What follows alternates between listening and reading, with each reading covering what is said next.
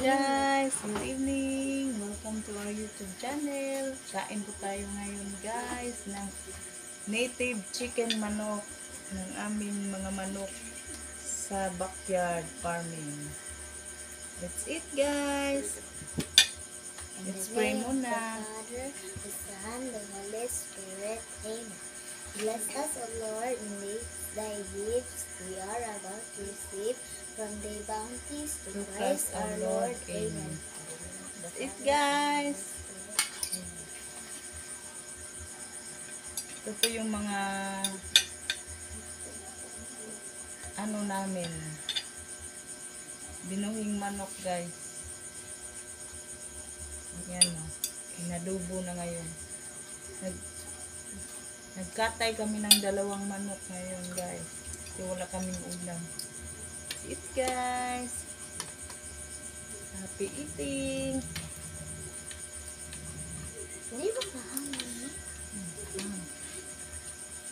Meron tayong ano, sausawan sili guys. Obihan.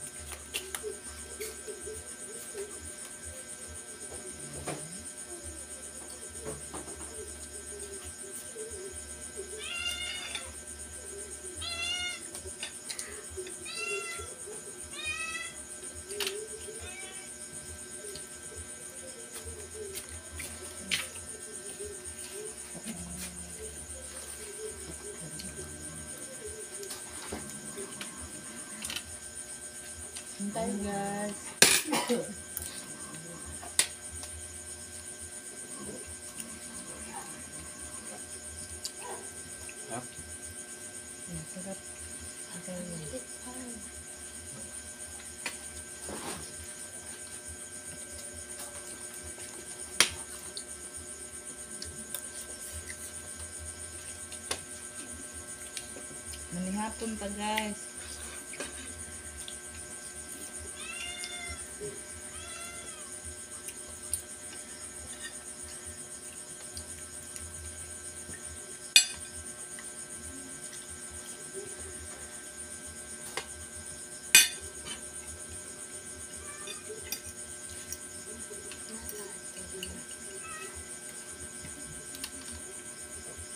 Sarap ng sausawan pag maanghang guys. May sili.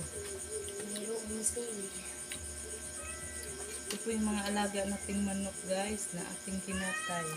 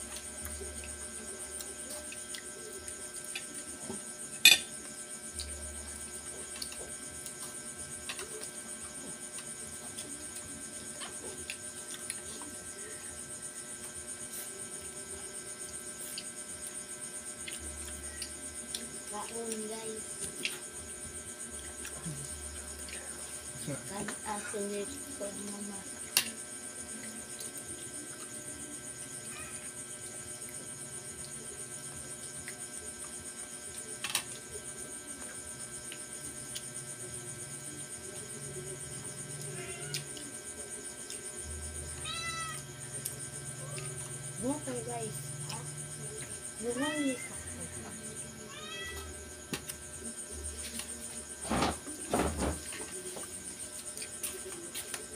Sarap yung naman guys. Pag native, natap, manamis-tamis yung ano yung laman. Dinugan ba ganito rice? rice.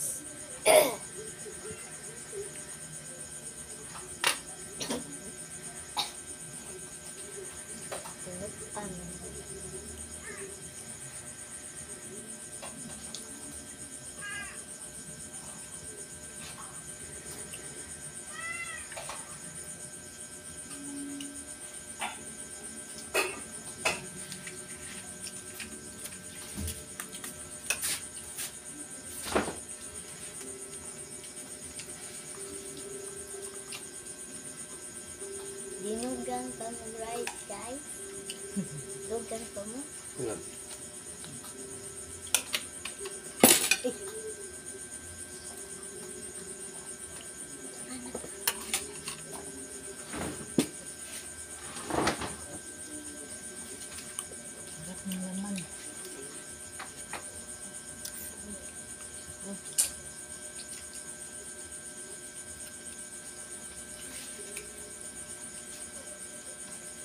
Ah, pag may alaga guys, eh, wala tayong iulam. And this Patayin na delicious. lang at gawin ulam. And this Meron din mga delicious. bumibili.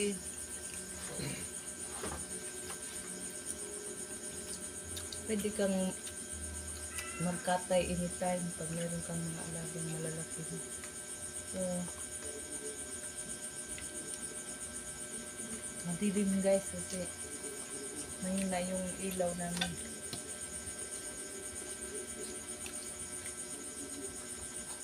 Yung laman niya guys, oh. manamis-tamis. Thank you, Lord. Five months old to, kaya hindi masyado matigas. Bata pa yung manok. Wag lang yung mga one year tsaka two years na matigas na yung laman guys. Kailangan mo pang pakuluan.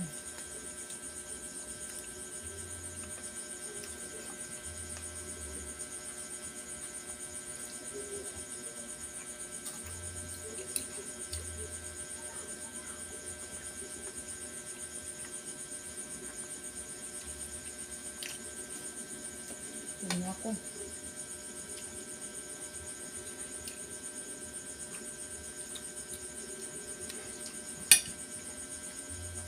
Ko 1% busog, guys.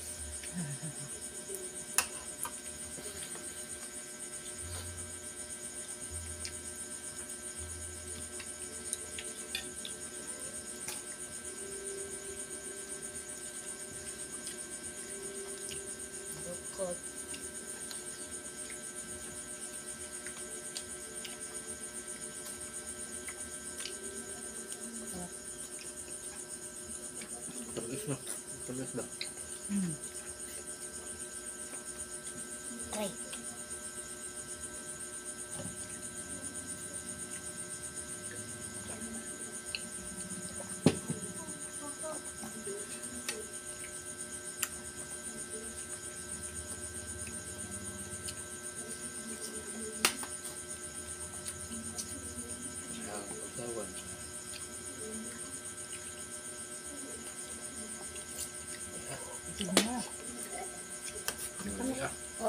1%.